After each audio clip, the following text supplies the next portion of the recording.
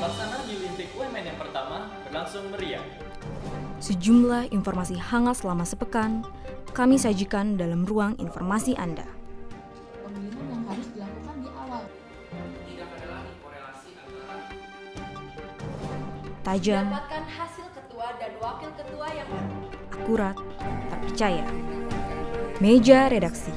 Setiap Senin jam 7 malam di UMN TV.